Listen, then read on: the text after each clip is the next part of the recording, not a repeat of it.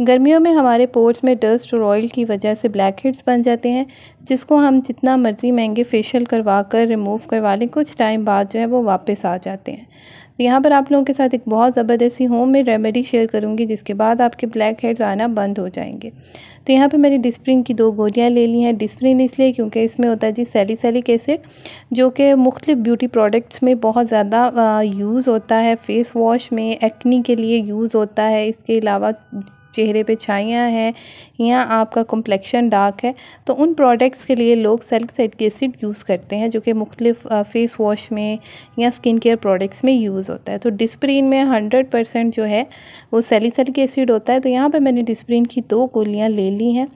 ये आ, आप चाहें तो इसको जो है आप आ, इसको पाउडर फॉर्म में भी कर सकते हो अदरवाइज़ डिस्प्रिन हर लिक्विड में बहुत इजीली हल हो जाती है। तो यहाँ पर मैंने अपने हिसाब से जो है इसमें दो गोलियाँ जो हैं वो ले ली अगर आपको ज़्यादा क्वांटिटी में पूरे फेस के ऊपर अप्लाई करना है तो आप ज़्यादा उस हिसाब से क्वांटिटी एडजस्ट कर लें। अदरवाइज़ मैं जस्ट ये नोज़ के लिए बना रही हूँ तो मैं इसमें जस्ट दो गोलियाँ ही डालूँगी।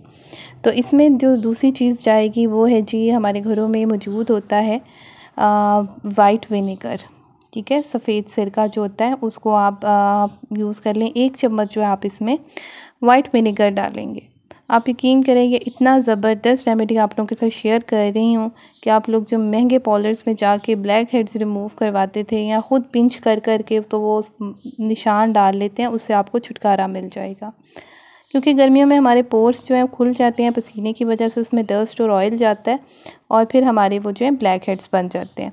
तो यहाँ पे मैंने वाइट विनेगर डाल लिया। उसके बाद जो है मैं इसको अच्छे तरीके के साथ जो है मिक्स कर लूँगी, क्योंकि डिस्प्रिन ईज़िली एब्जॉर्ब हो जाती है। अगर आपको ज़्यादा जल्दी है तो आप डिस्प्रिन को पाउडर फॉर्म में कर लें और उसके बाद जो है इसमें वाइट विनेगर डाल दें।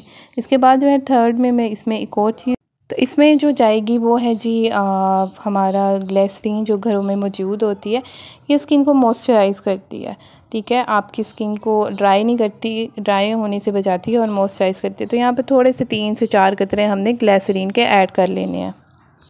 तो यहाँ पर इन सब चीज़ों को हमने अच्छे से मिक्स कर लेना है और इसके बाद हमने जिस एरिया के ब्लैक हेड्स रिमूव करने हैं आप चाहें तो फुल फेस पे भी अप्लाई कर सकते हैं। डिस्प्रिन के बहुत सारे फ़ायदे हैं ये आपके कम्प्लेक्शन को लाइट भी करती है।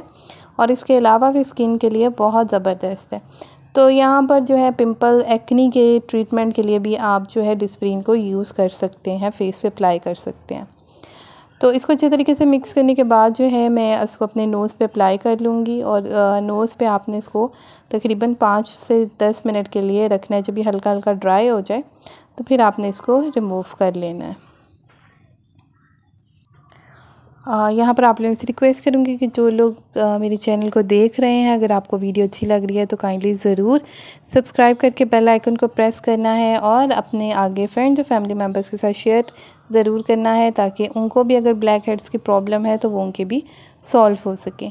तो यहाँ पर अच्छे तरीके से मैंने जो है इसको अप्लाई कर लिया। फेस पे अब मैं इसको पाँच से दस मिनट के लिए ब्रेक दूँगी ड्राई होने के लिए छोड़ दूँगी और उसके बाद जो है इसको टिश्यू पेपर से या आप वैसे ही इसको वॉश करना चाहें तो वॉश भी कर सकते हैं।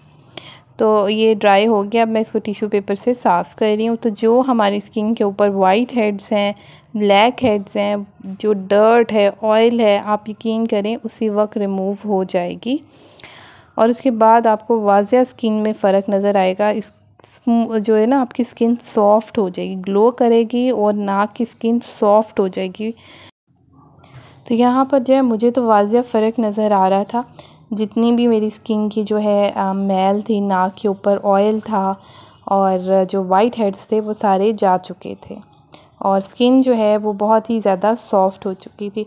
आप जो है, इसको एक दफ़ा ये अप्लाई करोगी तो आपको जो है, वाजिया फ़र्क महसूस होगा। इसके अलावा वीक में आप इसको एक दफ़ा ज़रूर अप्लाई करें। रेगुलर यूज़ करें तो आपके ब्लैक हेड्स का मसला सॉल्व हो जाएगा।